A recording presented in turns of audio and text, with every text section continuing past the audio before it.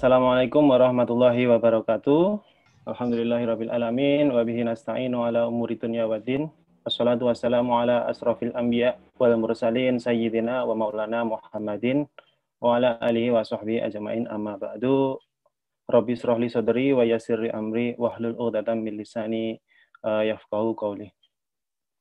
Alhamdulillahirabbil alamin. Pagi hari ini kita masih bisa dikumpulkan kembali ya di uh, event mingguan kita, event Teh Talk Badang Sistem Informasi, tentunya tanpa ada halangan suatu apa pun.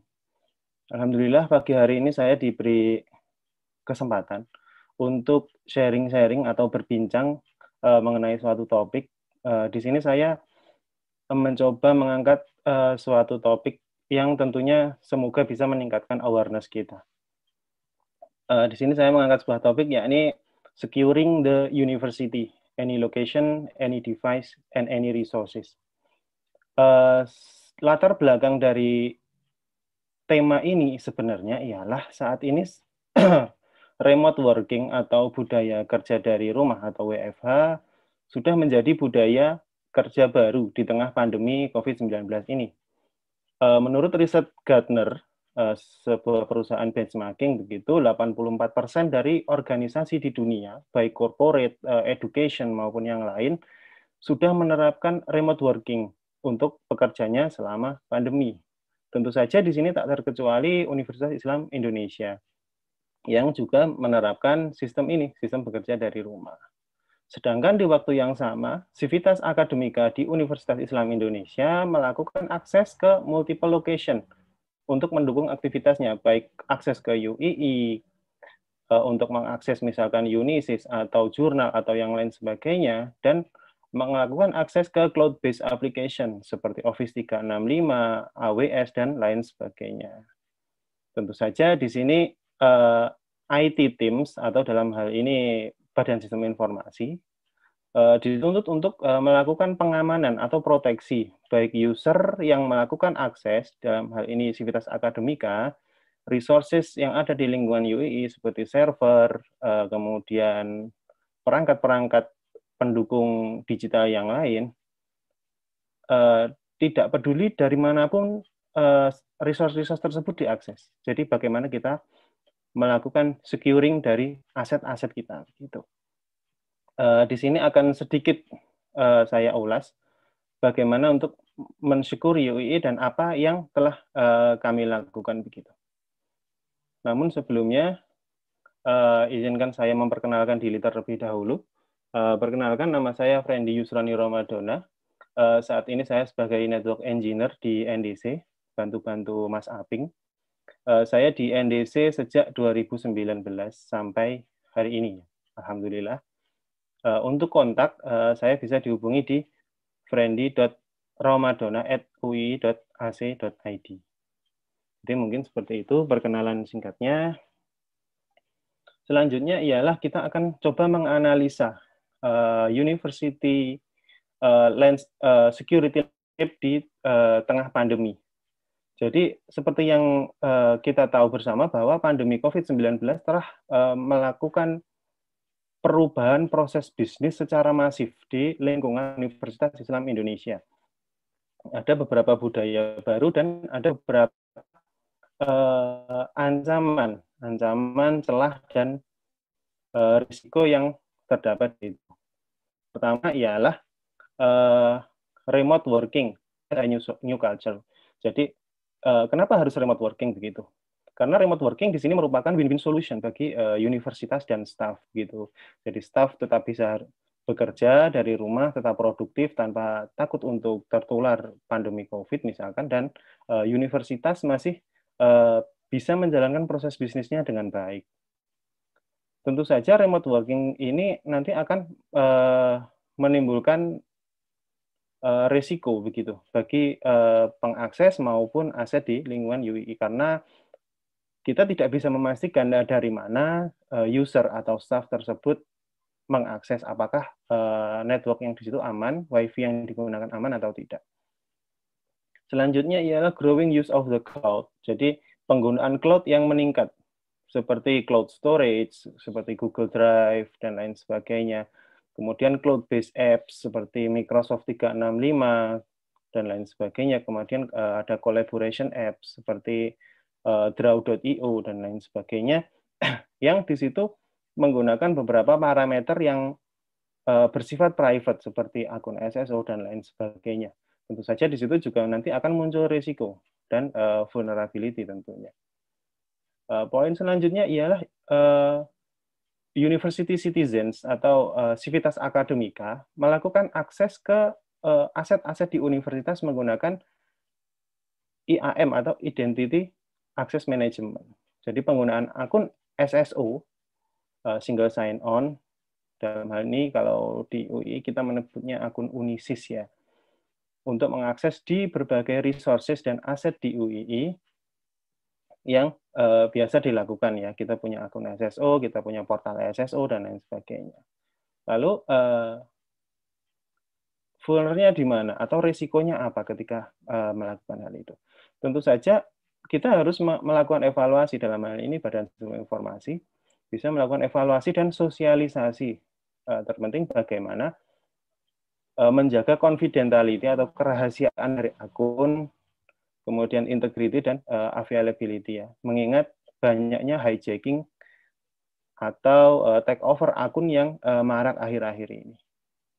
Poin selanjutnya ialah isu security masifnya cyber attack selama pandemi. Jadi hampir menurut Sophos Security uh, sebuah perusahaan firewall gitu ya yang melakukan research hampir 90% kenaikan cyber attack selama 12 bulan terakhir dari dibandingkan dengan tahun lalu. Jadi eh, selama pandemi ini lebih tinggi tingkat cyber attack-nya.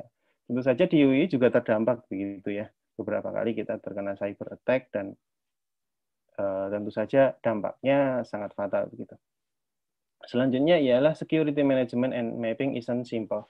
Jadi eh, tentu saja seperti yang kita tahu kita belum punya uh, standar security tertentu, misalkan penggunaan framework security tertentu seperti NIST, uh, Zero Trust, dan lain sebagainya kita belum pakai. Jadi uh, pengelolaan security masih didominasi oleh masing-masing divisi. Misalkan NDC punya standar security sendiri, atau di ALA punya standar security sendiri, atau di Intro punya standar security sendiri, dan lain sebagainya. Tentu mapping dan manajemennya akan menjadi sangat uh, istilahnya kurang simpel begitu. Eh, beberapa isu tersebut eh, merupakan challenge bagi kita khususnya sebagai pengelola IT dan pengelola digi, eh, dan pengawal digital culture di Universitas Islam Indonesia dan tentu saja di sini juga kita juga tidak mengabaikan peran dari rekan-rekan SIM fakultas untuk di level fakultas yang biasanya juga merupakan IT consultant juga di situ.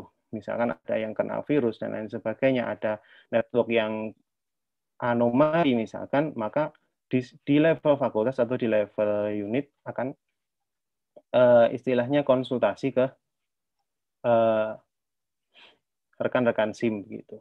Jadi perlunya ada uh, sinkronisasi di situ. Lalu uh, berikut saya coba ringkaskan uh, prediksi pergerakan di Universitas Islam Indonesia post COVID dan uh, selama COVID begitu. Ada beberapa beberapa perubahan terkait digital learning.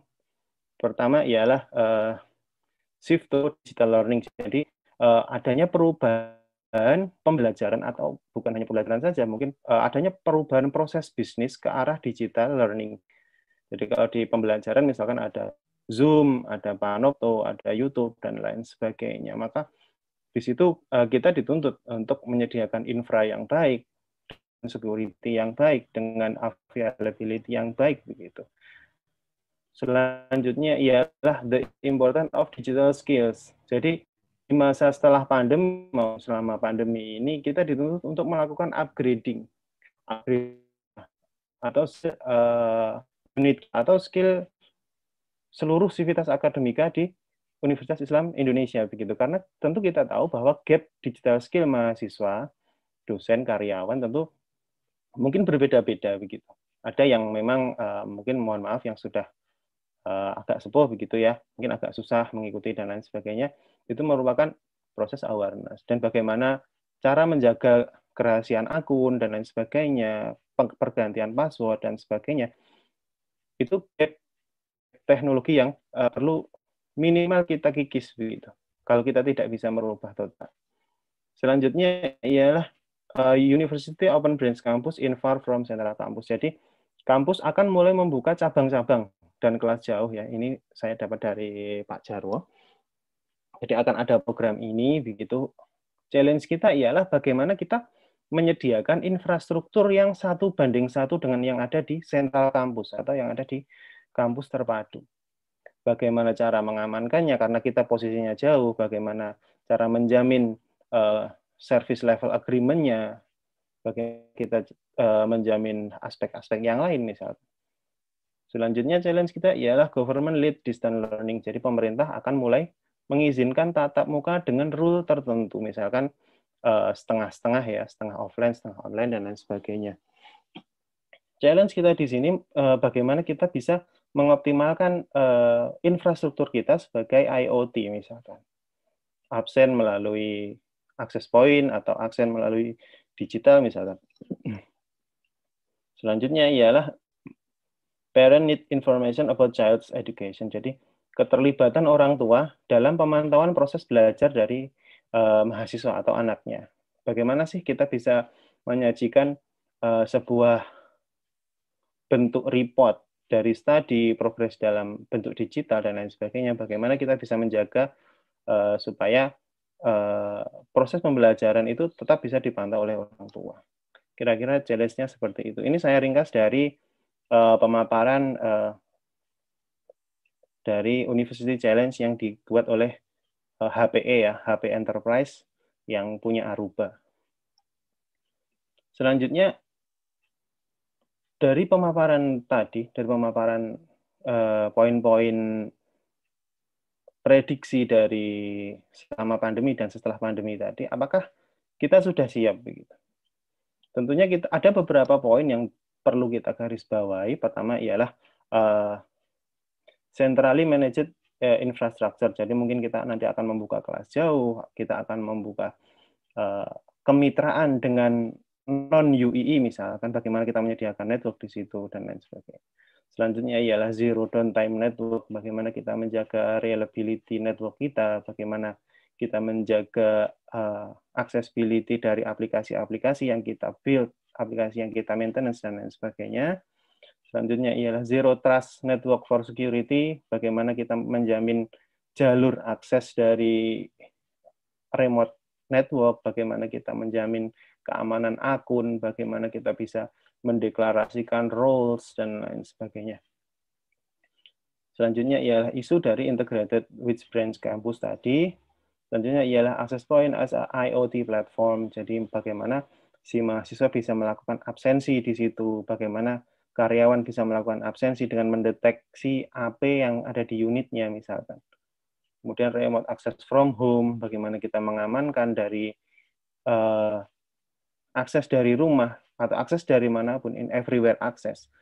Bagaimana kita bisa mengamankan uh, jalur itu padahal kita belum uh, istilahnya belum make sure begitu apakah jalur yang digunakan oleh staff maupun mahasiswa itu aman. Kadang dia ngenet dari mana, dari warnet atau dari uh, public infrastructure, misalnya dari taman atau dari mana, tentu kita uh, tidak tahu apakah di situ ada hijacking atau tidak, atau ada man in the middle atau tidak, dan lain sebagainya. Selanjutnya ialah online and teaching learning, jadi proses uh, pembelajaran online begitu. Selanjutnya ialah predict and notify issues. Jadi bagaimana kita uh, mengkolek log bagaimana baik itu security maupun isu yang lain misalkan dan kita bisa memprediksi apa yang akan terjadi terhadap infrastruktur kita. Selanjutnya ialah bagaimana uh, kita bisa memfasilitasi mahasiswa supaya bisa mendapatkan insight-insight baru terkait teknologi. Dan terakhir, uh, sebagai istilahnya keseluruhan, yaitu bagaimana kita bisa menjamin keamanan keamanan dari infrastruktur kita, bagaimana kita mengamankan aset-aset kita, bagaimana kita bisa mengamankan dari eh, device-device uh, yang dimiliki oleh Civitas Akademika. Selanjutnya ialah uh, terkait Secure University Network. Jadi ada beberapa hal yang coba saya ringkas begitu Bagaimana sih cara untuk melakukan pengamanan dari uh, University Network atau University uh, Infrastructure. Pertama ialah connect securely. Jadi bagaimana kita bisa mengamankan konektivitasnya dulu, jaringannya dulu. Bagaimana kita bisa membuat jaringan yang aman, bagaimana kita bisa baik itu mau diakses dari rumah, dari kantor, dari UII atau dari uh, everywhere dari mana pun. Selanjutnya ialah bagaimana kita bisa memproteksi devices. Devices di sini punyanya end, end client ya, endpoint biasa kita sebut bisa laptop, bisa public desktop atau uh, mobile devices, HP dan lain sebagainya. Dan appliance, appliance ini adalah mesin-mesin yang kita punya, baik punya NDC, misalkan router, switch, BGP dan lain sebagainya, firewalls, uh, dan uh, infrastruktur yang lain, servers, uh, bare metal dan lain sebagainya, on-prem facility. Selanjutnya ialah uh, secure resources. Uh, bagaimana kita bisa mengamankan uh, resources dan data workloads. Data workloads ini misalkan kode yang dideploy oleh teman-teman dev. Bagaimana kita bisa mengamankan uh, servicesnya, uh, web service misalkan engine X-nya dan lain sebagainya. Tentunya ialah bagaimana kita melakukan simplifikasi. Kita akan coba ulas satu persatu. Pertama ialah secure connectivity atau mengamankan konektivitas. Tentu saja seperti yang kita tahu, eh, remote working tadi merupakan win-win solution ya bagi staff dan universitas. Staff tetap bisa produktif dari rumah tanpa khawatir tertular COVID ya, karena uh, di rumah saja begitu, tidak berkumpul-kumpul dan lain sebagainya. Sedangkan di universitas proses bisnis tetap berjalan begitu. Jadi tidak stuck. Problemnya di mana?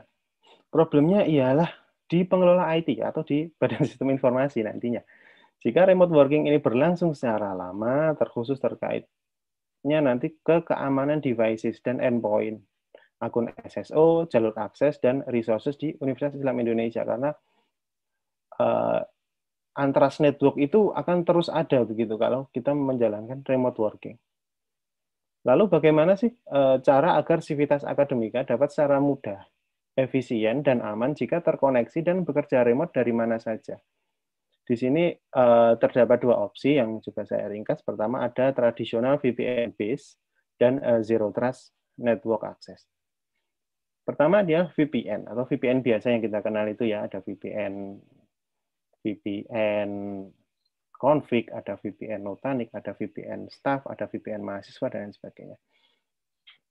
Jadi konsep VPN sendiri ialah kita uh, bekerja dari rumah, terkoneksi dengan koneksi luar, kemudian kita membentuk sebuah koneksi private atau tunnel, begitu ke office dalam hal ini UII, kemudian kita bisa mengakses masing-masing resources, baik ke data center, maupun ke LAN fakultas katakanlah, maupun ke uh, application yang ada di cloud. Eh, selanjutnya VPN sendiri juga mensupport split. Jadi misalkan uh, kita mau mengakses ke uh, university resources katakanlah, kita bisa melakukan split. Jadi yang ketika kita mau ke internet kita pakai koneksi kita sendiri, kemudian ketika kita mau melakukan akses ke resources di universitas, kita bisa menggunakan VPN. Jadi tidak semua traffic itu di backhaul atau dibawa ke universitas dulu kemudian baru naik ke internet. Selanjutnya easy to deploy, small and portable. Jadi kita tinggal mendownload uh, end client installer, misalkan OpenVPN client atau Edu VPN client atau dan lain sebagainya. Dan kita tinggal install, kemudian masukkan profil dan lain sebagainya. Dan uh, sudah selesai. Gitu. Selanjutnya ialah powerful and secure internal. Jadi tentu saja VPN ini karena sudah menggunakan public key infrastructure, kemudian sudah pakai enkripsi eh, RSA dan lain sebagainya, tentu saja sangat aman secara jalur. Namun bagaimana dengan kontennya? Bagaimana dengan konten yang dibawa oleh uh, si remote workers ini? Apakah aman atau tidak? Tentunya di sini weak in security karena VPN sendiri hanya memfasilitasi jalur seperti itu. Selanjutnya ialah Zero Trust Network Access atau ZTNA. ZTNA adalah versi advance dari VPN, di mana ada beberapa tahap yang harus kita lalui ketika kita connect. Pertama, dia akan memverifying user dulu, devices, baik dengan akun SSO atau baik dengan token dan lain sebagainya. Kemudian dia akan validate apakah device-nya itu aman, apakah dia ada di situ, apakah ada malware di situ, apakah ada uh, software berbahaya yang mengancam di situ. Kemudian uh, selanjutnya dia akan melakukan uh, delegasi privilege. Jadi, oh ternyata yang dial ini dia privilege-nya sebagai apa? Sebagai admin fakultas misalkan. Dia akan diberikan akses ke admin fakultas saja. Jadi berdasarkan roles, berdasarkan uh, level hierarki akses begitu. Uh, beberapa poin ya, ini ZTNA sendiri memberikan granular control. Jadi kontrol menyeluruh kepada devices, users, dan aplikasi yang akan diakses. Jadi misalkan, oh usernya ini oke okay, tervalidasi, oh device-nya aman, oke okay, tervalidasi, kemudian aplikasi yang diakses apakah diizinkan? Oh, oke okay, ketika diizinkan dia akan oke okay, begitu. Jadi untuk uh, meningkatkan cyber defenses, untuk meningkatkan uh, pertahanan cyber kita. Selanjutnya ialah centrally managing. Jadi tersentralisasi. Jadi kalau VPN, case-nya VPN tadi kan kita ketika mau connect ke VPN Nutanix, kita harus dial Nutanix. Ketika kita mau connect ke VPN, katakanlah panitia PMB misalkan, kita harus disconnect dulu, kemudian kita pindah ke VPN PMB. Lalu bagaimana ketika kita pada saat yang sama misalkan jadi panitia PMB plus kita harus config Nutanix, katakanlah. Repot kemudian. Maka di sini uh, eh, ZTNA sendiri memberikan uh, centrally managing, jadi single portal VPN untuk beberapa jenis roles begitu. Dan dia memberikan uh, experience it just work. Jadi ketika kita mau mengakses apa pun, kita tinggal melakukan dial baik web SSL via web maupun kita harus install end client. Kemudian tinggal kita klik dan it just work begitu. Oh, udah bisa. Itulah yang ditawarkan. Kemudian eh, ZTNA sendiri juga membantu kita untuk make sure, untuk memastikan bahwa devices yang terhubung itu enrolled, eh, tervalidasi, policies up to date, eh, terjamin akses polisinya, dan properly protected. Seperti yang dipunyai VPN ya, encryption enable. Jadi seperti itu. Terkait secure connectivity, kita bisa menggunakan dua hal ini, ZTNA maupun VPN. Tentu dengan kelebihan dan kekurangannya masing-masing begitu. Selanjutnya ialah uh, mengamankan devices. Sesudah kita mengamankan koneksinya, kita harus mengamankan devices-nya. Uh, dari data Sovo Security yang saya dapatkan, bahwa 51% dari organisasi atau perusahaan di dunia pada saat ini telah terinfeksi dengan uh, ransomware ya dengan kesuksesan ransom itu mengenkripsi data user sampai 73%. Jadi bisa kita bayangkan kerugiannya sangat besar sekali begitu. Tentu saja eh, di UII juga sempat ya terkena, sempat masif begitu beberapa laptop, beberapa eh, endpoint ya termasuk desktop begitu terkena ransom ini dan terenkripsi filenya. Tentu saja sebagai langkah preventif atau pencegahan, kita memerlukan firewall tentunya di sisi network dan uh, antivirus di sisi uh, end client bisa laptop, corporate PC, personal PC dan mobile devices. Uh, lalu seperti apa sih standar endpoint security yang baik atau standar antivirus yang baik dan uh, bagaimana cara mengenali attack yang menginfeksi endpoint baik laptop maupun devices kita. Dua hal yang harus dipastikan pertama bagaimana kita memilih endpoint security atau antivirus ada beberapa hal di sini. Pertama, eh, pastikan antivirus kita memiliki anti ransom. Jadi eh, dia akan melakukan eh, blocking terhadap enkripsi yang tidak diizinkan. Jadi ketika dia mau mengenkripsi, dia akan langsung diblok. Kemudian dia memiliki deep learning AI ya. Jadi ada beberapa atribut yang dia punya untuk melakukan prevensi malware yang belum diketahui signature-nya. Jadi misalkan komputer itu mulai aneh uh, behavior-nya misalkan melambat atau beberapa registry terganti dengan sendiri dan lain sebagainya, maka si antivirus dia itu dia akan mengetahui dia punya beberapa atribut untuk mengenali malfungsi itu. Selanjutnya yang harus ada ya ini anti exploit teknologi. Anti exploit di sini tentunya untuk uh, memblokir exploit. Biasanya ada cross scripting, scripting based attack dan lain sebagainya yang yang tidak sengaja kita klik dari browser misalkan. Seperti itu. Selanjutnya terakhir yang tentu saja ada ya ini foundational signature based protection. Jadi uh, dia mempunyai database signature virus maupun malware. Sehingga ketika ada yang cocok signaturnya, yang jalan di activity misalkan, dia akan langsung terkuarantin begitu. Jadi empat hal ini yang perlu diperhatikan ketika kita uh, melakukan pemilihan antivirus. Selanjutnya ialah endpoint detection and response. Yakni uh, deteksi serangan dan respon kita seperti apa begitu. Pertama, biasanya EDR ini dilakukan oleh rekan-rekan yang langsung berhubungan dengan end user ya, bisa kalau di BSI ada IT support, ada ada yang biasanya troubleshoot uh, desktop misalkan atau laptop begitu.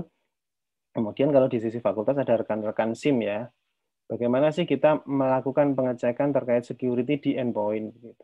Pertama, kita bisa melakukan application behavior check. Jadi, apakah behavior aplikasi itu seperti biasa atau tidak? Biasanya, misalkan di sini saya contohkan eh, Chrome, Google Chrome itu berjalan lambat. Lambat sekali begitu, buka tab aja susah. Eh, di situ kita bisa mengidentifikasi nih, apakah eh, di situ ada Chrome ekstensi yang diinstal yang tidak sengaja terinstall yang mungkin dia uh, merupakan malware atau adware begitu yang menyebabkan perlambatan di situ. Selanjutnya ialah network activity check. Biasanya kita bisa mengecek nih apakah si komputer tersebut ketika ke internet melakukan uh, keanehan. Misalkan dia akan login ke tempat tertentu, kita cek via PowerShell atau via Task Manager ya, begitu biasanya apakah si komputer tersebut melakukan login ke suatu portal atau login ke IP publik tertentu secara berulang-ulang. Eh, siapa tahu si komputer tersebut telah terinfeksi dan kemudian jadi zombie untuk melakukan semacam brute force, DDoS, dan lain sebagainya. Selanjutnya software queries. Jadi hal yang kita lakukan yakni kita akan melakukan pengecekan terhadap sensitivitas file terhadap eh, software yang kita install. Jadi misalkan mohon maaf kita install suatu aplikasi kemudian kita melakukan crack di situ. Melakukan aktivasi secara tidak legal ya tentu saja kita harus memperhatikan nih setelah kita lakukan crack tersebut, apakah ada anomali di situ? Karena uh, di konsep security itu tidak ada makan siang yang gratis. Jadi ketika kita melakukan cracking, misalkan dengan Windows Loader kah, atau dengan uh, BIDAS dan lain sebagainya, itu apakah dia ada anomali setelahnya? Seperti dia mengirimkan sesuatu, kita bisa melihat di Task Manager misalkan. Selanjutnya ialah uh, phishing investigation. Jadi apakah terkena phishing atau tidak. Dengan cara apakah kita bisa melakukan wawancara nih atau kita bisa melakukan analisis di emailnya apakah dia sebelumnya melakukan klik sesuatu atau dia melakukan download sesuatu yang tidak sengaja misalnya. Seperti itu. Baru kita bisa simpulkan, oh ini ternyata endpoint ini aman. Oh endpoint ini terkena phishing nih. Oh endpoint ini terkena virus dengan jenis ini nih, Trojan misalkan. Atau endpoint ini terkena botnet dan lain sebagainya. Seperti itu. Selanjutnya ialah uh, proteksi dan secure resources, data workloads. Di sini adalah sudah merupakan di level uh, service ya, level server. Pertama kita harus memproteksi data and workloads. Bagaimana server itu loadnya seperti biasanya seperti apa, kemudian data flow-nya seperti apa. Pertama ialah uh, kita tentunya wajib untuk melakukan hardening hardening ke server ya. Baik, uh, biasanya aplikasi ini uh, CPU load-nya seberapa sih? Kemudian data flow-nya, traffic yang lewat seperti apa? Apakah ada, ada anomali atau tidak? Selanjutnya ialah mendeteksi deployment yang insecure. Ketika kita widget dari sesuatu, apakah uh, repo-nya itu aman atau tidak, dan lain sebagainya. Baik itu di cloud maupun di on-prem. Karena siapa tahu uh, paket yang kita kita widget itu ada malware di situ. Selanjutnya deteksi dan uh, workloads-nya, CPU load, RAM usage dan lain sebagainya. Apakah uh, seperti biasanya atau tidak? Parameternya cuma seperti itu. Misalkan uh, average-nya RAM itu uh, konsumsinya berapa, kemudian CPU load-nya berapa. Kok tiba-tiba tidak seperti biasa nih? Tiba-tiba naik tinggi, kemudian paket yang dikirim besar. Uh, itu pun uh, terkait juga dengan akun. Misalkan kita punya akun di Google Drive, kemudian kita cek di S3 bucket ya, uh, simple simple simple storage service, misalkan Google Drive dan lain sebagainya apakah tiba-tiba ada penuh atau tidak. Biasanya usage-nya sampai berapa giga dan lain sebagainya. Selanjutnya ialah uh, ketika sudah ada anomali begitu, tentu saja kita harus melakukan critical IT operation seperti threat hunting, terus kita lakukan eh, forensic investigation jika memungkinkan dan lain sebagainya untuk mendetek dan take down dari suspicious activity misalkan ada di situ ada percobaan untuk uh, pentest dan lain sebagainya. Kita bisa take down di situ. Selanjutnya setelah mengamankan mengamankan dari workloads datanya, kita juga harus mengamankan di uh, network dan servernya. Pertama tentu saja kita harus integrated ya, integrated multi-layer protection. Jadi dari paling atas misalkan dari NDC kita punya BGP, kita set di situ ada prefix authentication dan lain sebagainya uh, incoming outgoing traffic yang trusted dan lain sebagainya. Selanjutnya di firewall ya. Firewall atau UTM ada beberapa hal yang harus kita harden begitu untuk mencegah beberapa serangan seperti DDoS, SQL injection, cross cross site scripting dan lain sebagainya.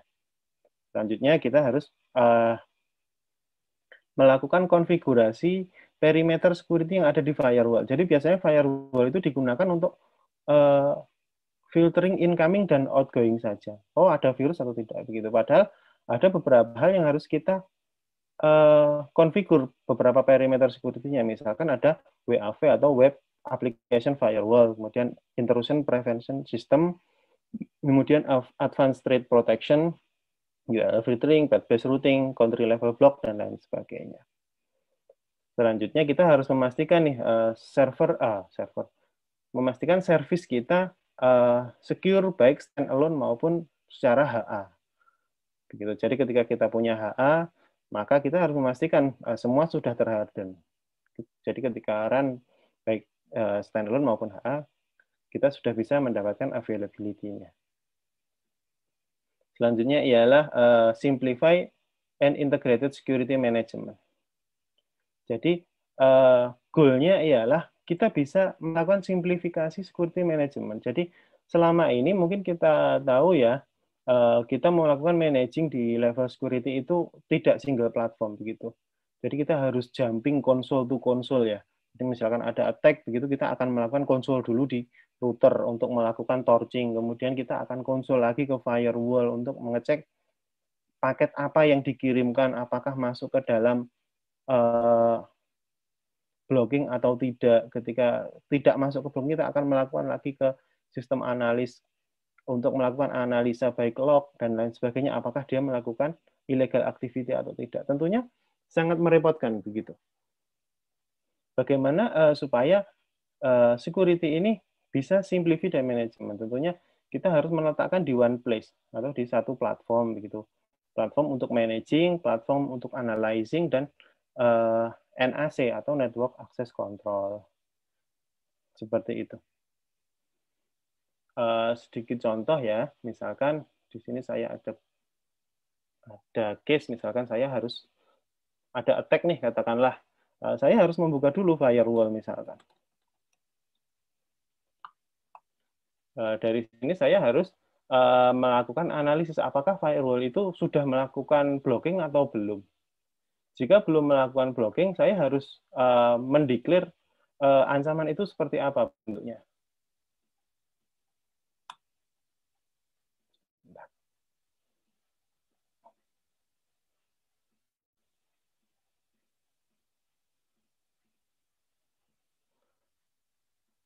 Intinya ialah saya akan melakukan uh, jumping console to console. atau uh, melakukan istilahnya perpindahan uh, environment. Misalkan saya cari di firewall kita ya di Palo Alto itu tidak ada. Oh ternyata di sini tidak ada serangan nih, uh, tidak ada tidak ada attack. Ketika dimonitor ini trafficnya aman saja. Nah, ini ya, semua di allow. Oh ternyata attack tidak datang dari sini. Saya harus melakukan cek lagi nih di environment yang lain misalkan.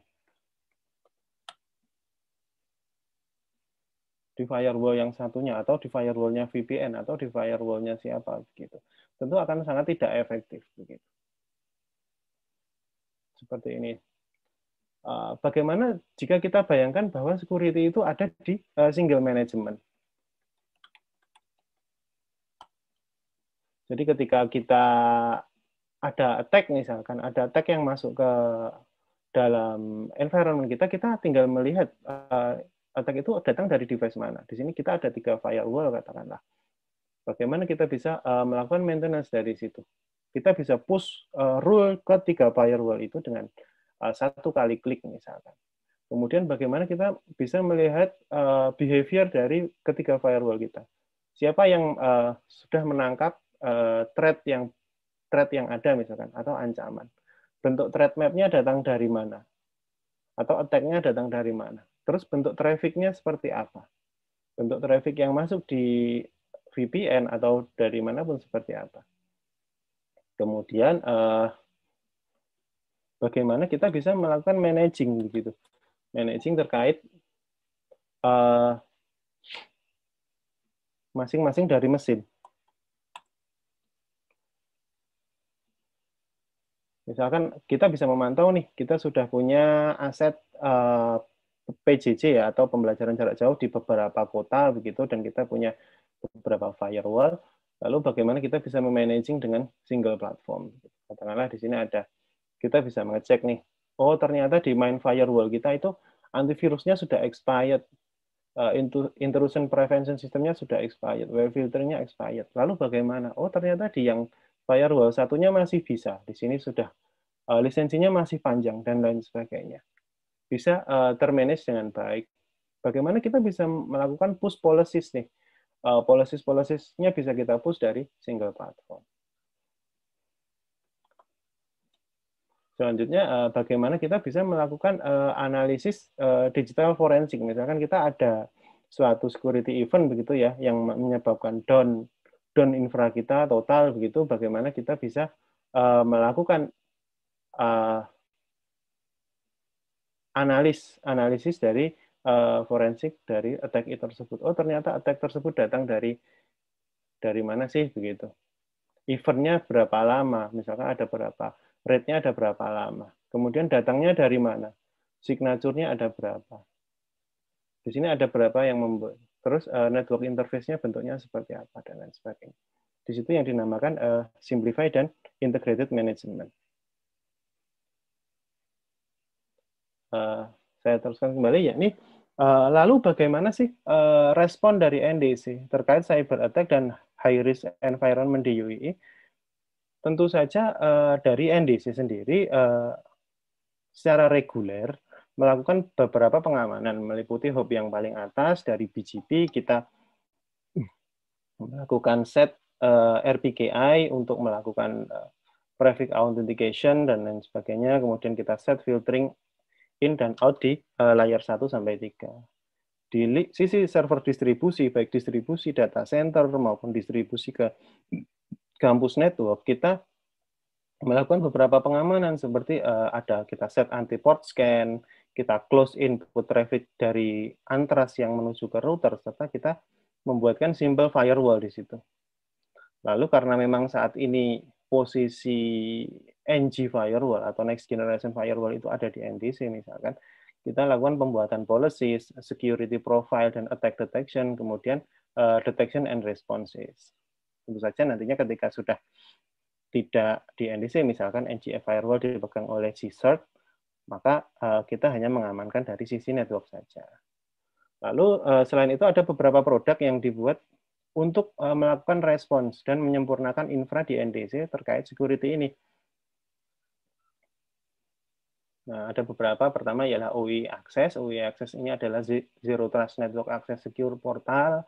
Kemudian ada UII Metro E. Metro E ini adalah link untuk branch network atau kampus cabang begitu ya atau gedung cabang yang menggunakan uh, layer 3 breakout atau uh, layer 3 ada di sisi sana begitu. Jadi untuk melakukan securing di sana supaya tidak attack itu tidak menuju ke kampus terpadu begitu.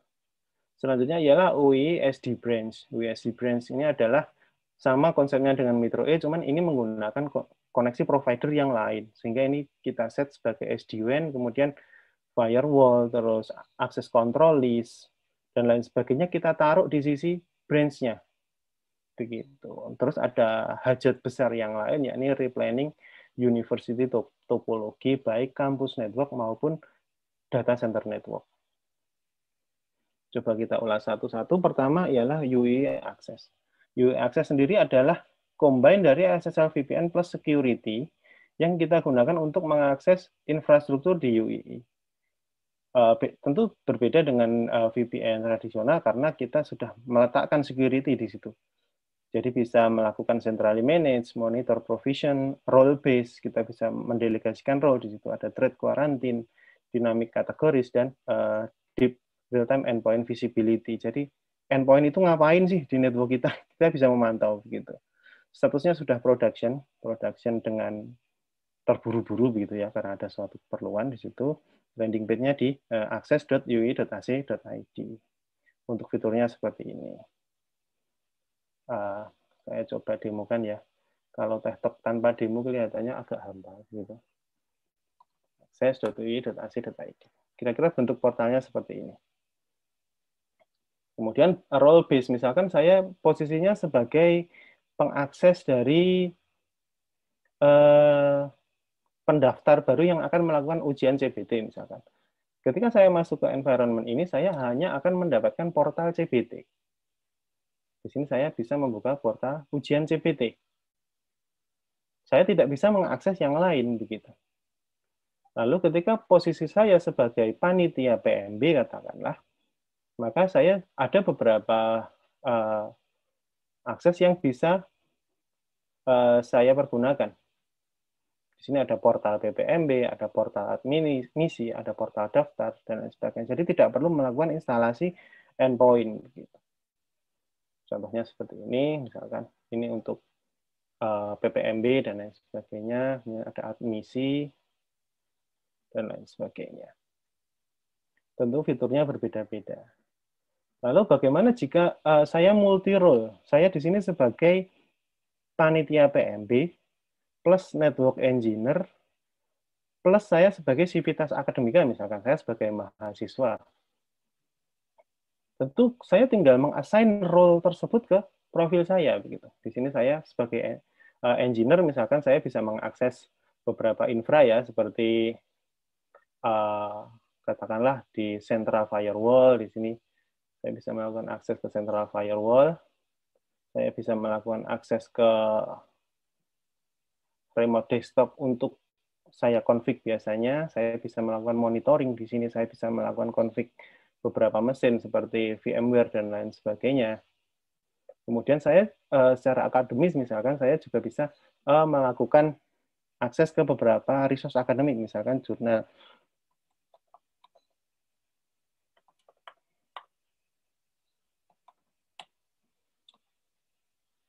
misalkan jurnal begitu. Nah, di sini saya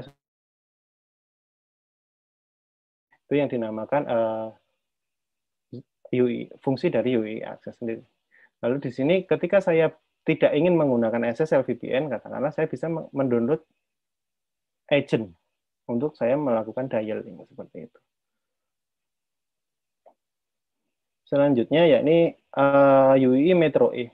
UI Metro E sendiri ialah uh, sebenarnya latar belakang dari pembuatan service ini karena semua traffic yang ada di branch fakultas baik seperti FH, FE, CDT, RO, terus S2 agama Islam misalkan itu saat ini semua traffic di backhaul ke pusat.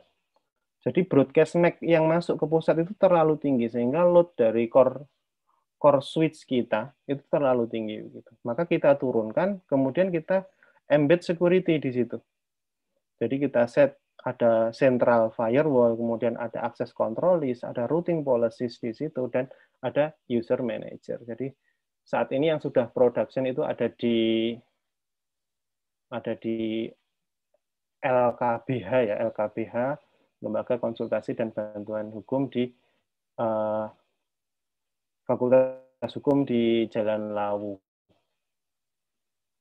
Jadi di sini bisa kita lihat. Kita close dulu.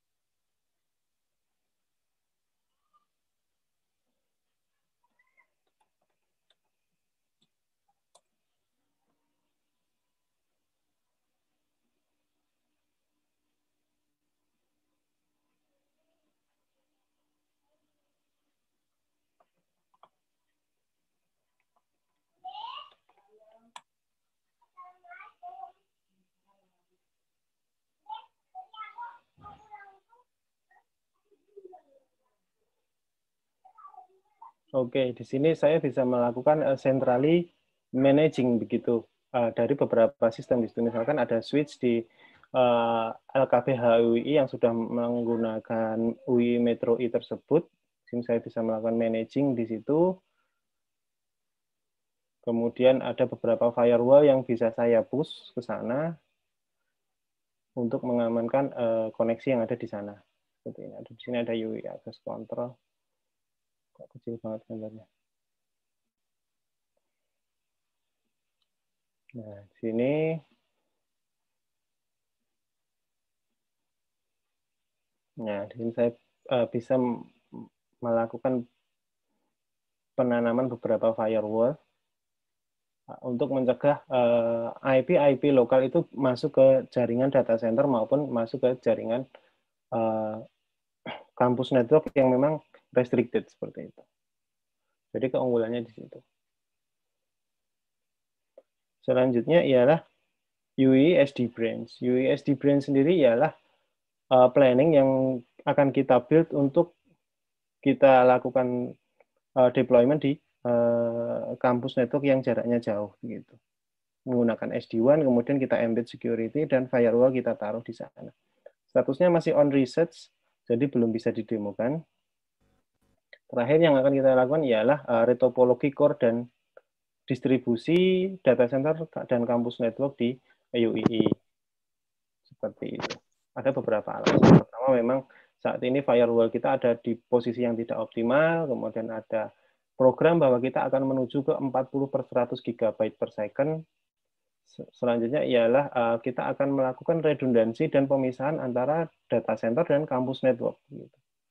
Selanjutnya kita juga akan melakukan removing time bomb. Jadi seperti yang kita tahu, kita punya bom waktu di UII yang kita namakan 3850 core network itu. Nah, kita akan coba breakdown di situ, kita pisahkan core core switch-nya baik DC, kampus network maupun uh, infra yang lain. Kemudian kita lakukan uh, centrally managing terkait security. Berikut beberapa program yang akan dilakukan NDC. Terakhir, sebagai penutup, tentu saja kita tidak bisa menghindari perubahan digital ya, meliputi uh, bekerja secara fleksibel, remote working, dan penggunaan cloud seperti Google Cloud, Microsoft 365, dan lain sebagainya. Uh, Service-service tersebut uh, membuat kita lebih mudah, namun juga memberikan kesempatan kepada threat actor atau bad actor dan tantangan terhadap IT team. Bagaimana untuk mengamankan resources, device yang terkoneksi maupun koneksi dari celah keamanan, dan risiko keamanan tanpa dengan catatan tanpa membuat pressure dari tim IT kita dan tanpa menyebabkan overhead dan over budget. Berikut uh, terima kasih uh, saya tutup untuk pemaparan saya. Mungkin dari rekan-rekan ada yang uh, akan ditanyakan maupun ada yang memberikan feedback, saya persilahkan. Saya kembalikan ke moderator.